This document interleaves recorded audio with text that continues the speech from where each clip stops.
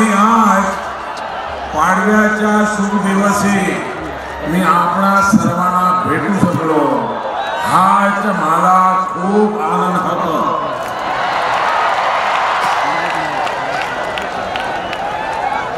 मंच पर विराजमान यहाँ के लोकप्रिय मुख्यमंत्री हमारी पार्टी के अध्यक्ष श्रीमान दानवे जी श्रीमान रामदास अठौले जी सभी हमारे उम्मीदवार, सभी वरिष्ठ नेतागण, भाजपा शिवसेना, महायुति के सभी वरिष्ठ महानुभाव और विशाल संख्या में पधारे हुए नांदेड़ के मेरे प्यारे भाई और बहन, माँ रेणुका देवी की आशीर्वाद प्राप्त भूमि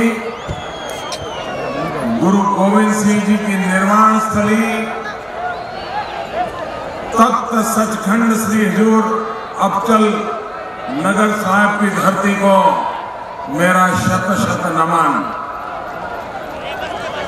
यही वो जगह है जिसने बाबा बंदा सिंह बहादुर को गढ़ने में बहुत बड़ी भूमिका निभाई थी।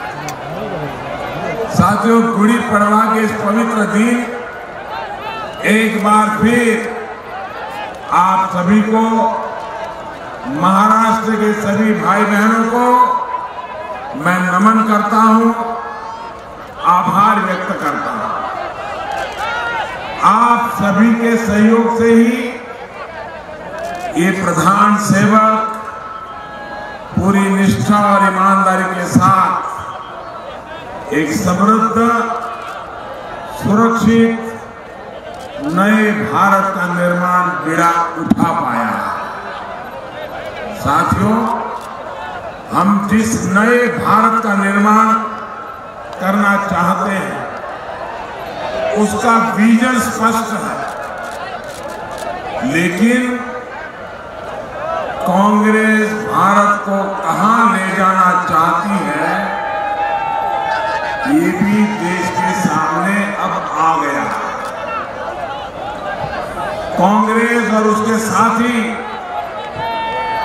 भारत में दो प्रधानमंत्री चाहते हैं। एक दिल्ली में और दूसरा जम्मू कश्मीर में।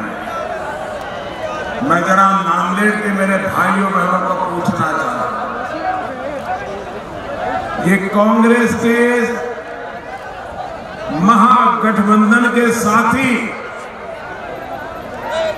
जम्मू कश्मीर के पूर्व मुख्यमंत्री उमर अब्दुल्ला, उनके पिताजी फारूक अब्दुल्ला, खुले आम कह रहे हैं कि देश में दो प्रधानमंत्री होने हैं। मैं आपसे पूछना चाहता हूँ क्या आपको ये मंजूर है? आवाज़ कश्मीर तक जानी चाहिए। क्या आपको ये मंजूर है? आपको ये मंजूर है? कांग्रेस जम्मू कश्मीर से आफ्ता का कानून हटाएगी ताकि आतंकियों के सामने हमारे जवान लाचार हो जाए। वो झूठे केसों में उलझ जाए। क्या कांग्रेस का ये वादा आपको स्वीकार है क्या? किसी हिंदुस्तानी को स्वीकार हो सकता है? देश का कोई वीर जवान इसको स्वीकार कर सकता है?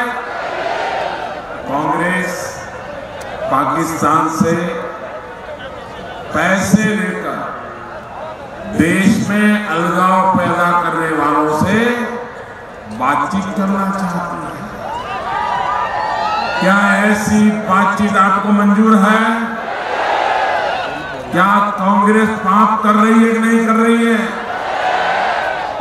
कांग्रेस भारत के टुकड़े टुकड़े चाहने वाले देशद्रोहियों से जुड़े कानून को हटाकर उनको खुला लाइसेंस देना चाहती है।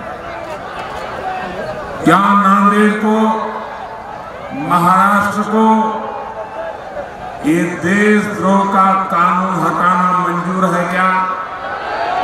मंजूर है क्या?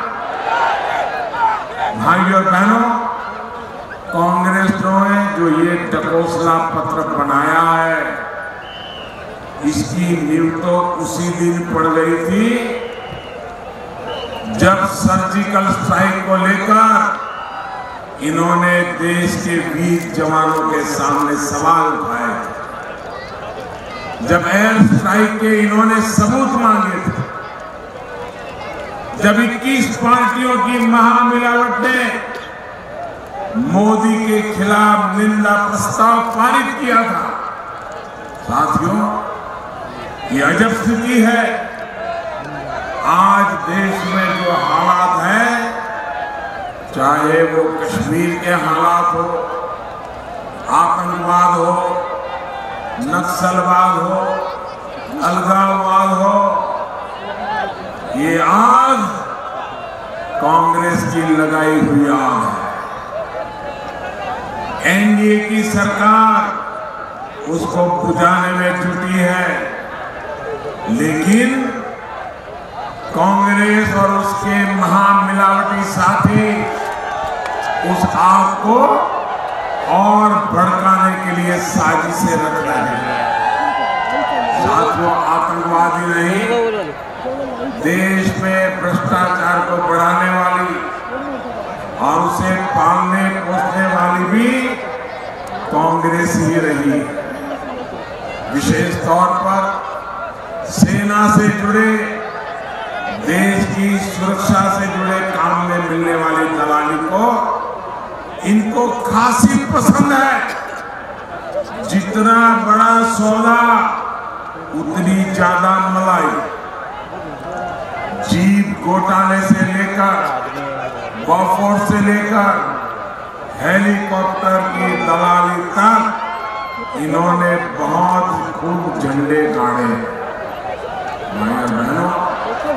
इटली के जिस मामा को नामदारों ने भगा दिया था, उसको और उसके दूसरे साथियों को ये चौकीदार दुबई से उठाकर लाया।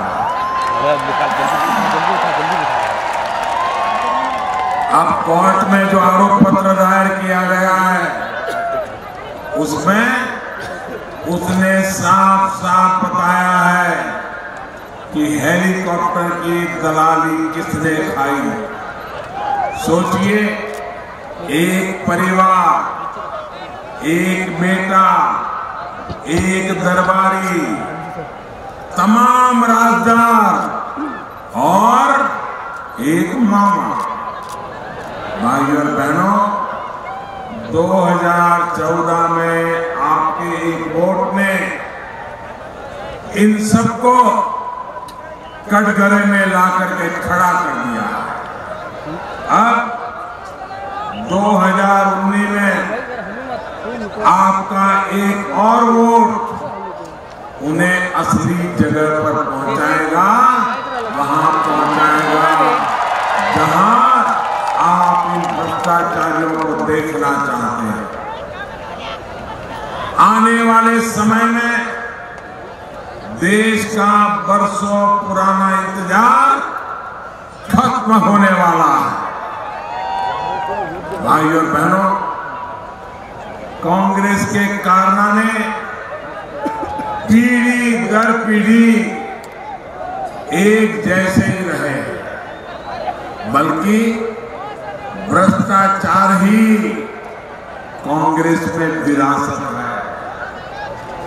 आज नामदार परिवार जमानत पर बाहर है। और कई पूर्व मंत्री कोर्ट कचहरी के चक्कर लगा रहे हैं। ऐसे ही कारनामों के चलते कांग्रेस पिछली बार चौवालीस सीटों पर पहुँची और इस बार संकट और गंभीर है उनके लिए। साथियों ये पहली बार देख रहा हूँ, कि पाँच वर्ष बाद भी जनता ने विपक्ष के प्रति, कांग्रेस के प्रति, एनसी के प्रति शरद पवार की पार्टी के प्रति उनका जो गुस्सा है, वो गुस्सा जरा भी कम नहीं हुआ। इस गुस्से ने कांग्रेस में अफरा तफरी मचा दी है। हालात ये है कि कांग्रेस के नामदार ने माइक्रोस्कोप लेकर भारत में एक ऐसी सीट खोजी है जहाँ पर वो मुकाबला करने की ताकत रख। सकता सीट भी ऐसी जहाँ पर देश की मेजोरिटी माइनॉरिटी है। मुकाबला भी ऐसा, जहाँ जाते ही विरोधी दल को कल दिया कि मैं आपके विरोध में कुछ नहीं कहूँगा। मैं भी नांदेड़ में हूँ, लेकिन अमेठी के लोगों से कहूँगा कि इसे याद रखें, अपना ये अपमान भी याद रखें। साथियों ये जो नई सीट नामदार ने खोजी है, वहाँ पर कांग्रेस की क्या स्थिति है, ये उन तस्वीरों से पता चलता है। सोशल मीडिया में खूब चल रहा है। जब नामदार वहाँ की सड़कों पर निकले थे, आपने वो तस्वीरें देखी है क्या? सोशल मीडिया में देखा है ना? कांग्रेस का झंडा किस कोने में है, ढूंढना पड़ता था। कांग्रेस के राष्ट्रीय अध्यक्ष का जुलूस। और कांग्रेस का झंडा खोजना पड़ता था। ये हाल है कांग्रेस का। साथियों, कांग्रेस की हालत टाइटेनिक जहाज़ की तरह है। ये हर एक नए दिन के साथ डूबती ही जा रही है। कांग्रेस के साथ जो जो इस जहाज़ में बैठा था, वो एनसीपी की तरह या तो खुद भी डूब रहा है या उठ उठ करके जान बचाने के लिए भाग रहा जो आपके पड़ोस में हिंगोली से कांग्रेस सांसद महोदय हैं, वे भी इस बार चुनाव नहीं लड़ रहे हैं। शरद पवार जी इस बार चुनाव नहीं लड़ रहे उनके सिपा सालार प्रफुल्ल पटेल भी चुनाव से भाग चुके हैं। साथियों, ये सभी महानुभाव एक एक करके मैदान छोड़ रहे हैं। महाराष्ट्र में कांग्रेस इतनी कमज़ोर हो चुकी है कि उसके पास जितनी संख्या में विधायक है उससे ज़्यादा तो गुट बने हुए हैं। सब आप में, आपस में ही भीड़ लड़ भीड़ रहे हैं। जब इस तरह की महामिलावट हो तो क्या ये दल महाराष्ट्र का भला कर पाएँगे? वो अपने विकास की सोचेंगे या फिर महाराष्ट्र के विकास की? यहाँ महाराष्ट्र में लोगों ने किस तरह एक आदर्श सोसाइटी बनाने की कोशिश की थी? शहीदों के परिवार को धोखा दिया था। इससे तो नांदेड़ और पूरा भारत भली भांति परिचित है। आप जानते हैं ना, वो कौन है? पता है?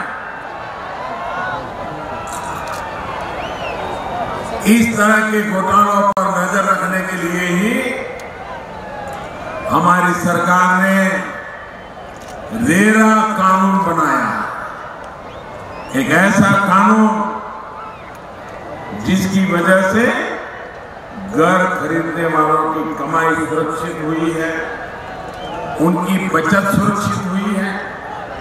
देश भर में हज़ारों प्रोजेक्ट अब रेरा कानून से रजिस्टर्ड है। और पहले जिस तरह से काले धन का खेल होता था, वो भी कम हुआ है। इसका बहुत बड़ा फ़ायदा हुआ है मध्यम वर्ग नौजवानों को। साथियों, एनडीए सरकार ने पाँच लाख रुपए तक की आय पर इनकम टैक्स ज़ीरो करने का जो निर्णय लिया है वो भी नौजवानों के लिए बड़े फ़ायदे लेकर आया। घर खर्च के लिए, अपने कार्यों के लिए, अब उनके पास ज़्यादा पैसे बच रहे हैं। लेकिन मैं देश के नौजवानों को, मध्यम वर्ग को, कांग्रेस की साजिश से फिर से आगाह करना चाहता कांग्रेस ने साफ़ कर दिया है कि वो देश के मध्यम वर्ग को स्वार्थी मानते हैं, लालची मानते हैं। इसलिए वो मध्यम वर्ग पर टैक्स का बड़ा बोझ डालने का इरादा रखती है। इतना टैक्स कि मध्यम वर्ग की करम कमर टूट जाए। भाई बहनों, आज मैं अनुभव से कह सकता हूँ अगर देश को चलाने में सबसे बड़ी ताकत कहीं से मिलती है तो मध्यम वर्गीय परिवार से मिलती वो कायदे कानून का पालन करते हैं। वे सरकारी खजाने में अपने से जो भी बचता देते हैं, और इसी से देश चलता है। ये कांग्रेस पार्टी मध्यम वर्ग को अपना दुश्मन मानती है। आप हैरान हो जाएँगे। अभी कांग्रेस का एक डकोसला पत्र आया। पचास पचपन पन्नों का डकोसला पत्र आया। आने वाले पाँच साल में उनके क्या मंसूबे हैं, उसका सारा उसमें लिखान है। पूरे मैनिफेस्टो में, उनके पूरे टकोसला पत्र में एक बार भी मध्यम वर्ग शब्द नहीं। भाई बहनों, ऐसी कांग्रेस को आप माफ़ कर सकते हैं क्या? इसलिए कांग्रेस से सतर्क रहिए। चौकीदार की तरह चौकन्ने रहिए।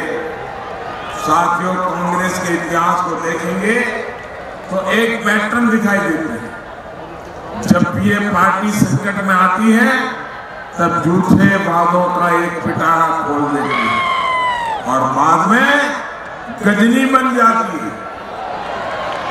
आपको गजनी फ़िल्म याद है ना?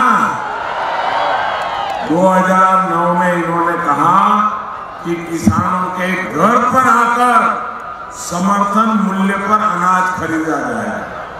अरे घर को छोड़िए, मंडी में भी वो अनाज नहीं खरीद पाए। ये बीजेपी, शिवसेना, एनडीए की सरकार है। जिसने लागत का डेढ़ गुना समर्थन मूल्य देने का वादा पूरा किया। ये एनडीए की सरकार है, जिसने देश के 12 करोड़ किसानों के खाते में हर साल पचहत्तर हज़ार करोड़ रुपए सीधे जमा कराने का काम शुरू किया। साथियों कांग्रेस वाले हर डकोसला पत्र में किसान को सिंचाई से जोड़ने का वादा करते हैं। लेकिन इनकी लटकाई निन्यानवे बड़ी सिंचाई परियोजनाओं को हमारी सरकार तेज़ी से पूरा कर रही इन्होंने गरीबों को आरक्षण देने का भी वादा किया था, लेकिन उसके बाद फिर गजनी हो गए। सामान्य वर्ग के गरीबों को 10 प्रतिशत आरक्षण देने का काम किया तो ये चौकीदार ने किया, वो भी बाकी किसी भी वर्ग का हक छीने बिना कोई भी छेड़छाड़ किए बिना किसी के हक को छुए बिना सारे समाज में प्रेम और सद्भाव का, का वातावरण बनाए रखते हुए इतना बड़ा फैसला हमने कर लिया। भाई और बहनों कांग्रेस अपने वोट बैंक के लिए ही काम करती है और चौकीदार की सरकार सबका साथ, सबका विकास के लिए काम करती है। ओबीसी कमीशन को संवैधानिक दर्जा देने का काम कांग्रेस नहीं कर पाया। आपके चौकीदार की सरकार ने उस काम को भी पूरा किया। इसी तरह बंजारा समाज को कभी कांग्रेस ने याद नहीं किया। एनडीए की महायुति की सरकार ने ही इस वर्ष के बजट में घुमंतु समुदाय के लिए पहली बार वेलफेयर डेवलपमेंट बोर्ड बनाने का फैसला किया। साथियों, कांग्रेस और ये महामिलावटी अपने स्वार्थ के लिए जाति, पंथ और संप्रदाय कोई भी खेल खेल लेते हैं। कर्नाटक चुनाव के दौरान सिर्फ़ वोट के लिए इन्होंने लिंगायत समाज के साथ क्या किया? ये हम भूले नहीं है। पवित्र करतारपुर साहब कॉरिडोर के साथ इन्होंने क्या सियासत की? ये भी आप भली भांति जानते हैं। बंटवारे के समय अगर कांग्रेस चाहती तो हमारे गुरुओं की धरोहर करतारपुर साहब हमारे पास ही रह सकता था। लेकिन सिर्फ़ तीन चार किलोमीटर की ही दूरी से गुरु गुरु साहब के पवित्र स्थान को इन्होंने दूर कर दिया। तब अगर कांग्रेस की नीति सही रहती तो आज पाकिस्तान में करतारपुर साहब न होता और न ही पाकिस्तान को ये खेल खेलने का मौका मिला। इसी तरह नांदेड़ और अमृतसर साहब से सीधी हवाई मार्ग से जोड़ने की याद भी कांग्रेस एनसीपी की सरकारों को कभी नहीं आया। और एनसीपी के नेता तो एविएशन मिनिस्टर हुआ करते थे। मुख्यमंत्री उनके यहाँ हुआ करते थे। लेकिन न कभी उनको नांदेड़ साहब और अमृतसर साहब को जोड़ने की इच्छा हुई। उड़ान योजना के ज़रिए ये काम भी हमारी सरकार ने किया। किसानों से पंद्रह गुना दाल की खरीद हो या प्रधानमंत्री श्रम योगी मानधन योजना से यहाँ के कामगारों को पेंशन सुरक्षा, कांग्रेस, एनसीपी की सरकारों ने कभी नहीं सोचा ये काम भी हमारी सरकार ने किया। भाइयों, बहनों, ये भी हमारी सरकार का सौभाग्य रहा कि उसे गुरु गोविंद सिंह के 350वें प्रकाश पर्व को देश और दुनिया में भव्य तरीके से मनाने का अवसर मिला। इसी तरह इस वर्ष गुरु नानक देव जी के 550वीं जन्म जयंती को भी हमने दुनिया भर में धूम से, धूमधाम से मनाने की तैयारी की। साथियों, देश की आस्था, देश की संस्कृति के संरक्षण और सम्मान के प्रति एनडीए की सरकार ये चौकीदार पूरी तरह प्रतिबद्ध है। 2014 में आपके वोट के कारण हम दशकों पुराने गड्ढों को भर पाए। 2019 में आपके वोट से विकास का हाईवे बनेगा। 2014 में आपके वोट के कारण पुराने भारत के काम करने के तौर तरीकों में बदलाव आया। 2019 में आपके वोट से हम एक नया भारत बनाने की दिशा में आगे बढ़ेंगे। 2014 में आपके वोट से डिजिटल इंडिया से आपके जीवन को आसान बनाया। 2019 में आपके वोट से डिजिटल इंडिया हमारे मेक इन इंडिया और रोज़गार निर्माण का मज़बूत आधार बनेगा 2014 में आपके वोट के कारण आतंकवाद को मुँह तोड़ जवाब मिला। 2019 में आपका वोट आतंकवाद को खत्म करने में एक बहुत बड़ी भूमिका निभाया। आने वाली 18 अप्रैल को कमल के फूल के सामने बटन दबाकर आप इस चौकीदार को और मज़बूत करेंगे इसी विश्वास के साथ। मैं आप सबका आभार व्यक्त करता हूँ और मैं आपको विश्वास दिलाता हूँ।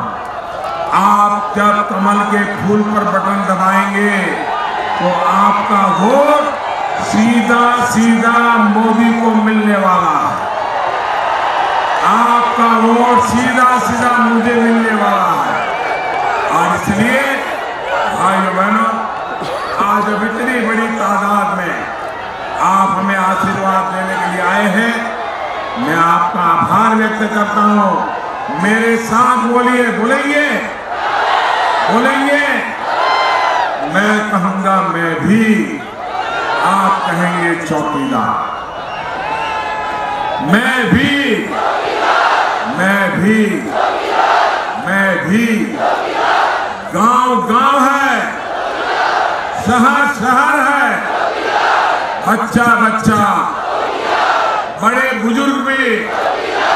माता बहने घर घर में, खेत खलिहान में बाग बगान में, देश के अंदर, सरहद पर भी, डॉक्टर, इंजीनियर, शिक्षक, प्रोफेसर, लोकसभा पत्रकार, कलाकार भी, किसान कामगार, दुकानदार भी वकील व्यापारी भी छात्र छात्राएँ भी।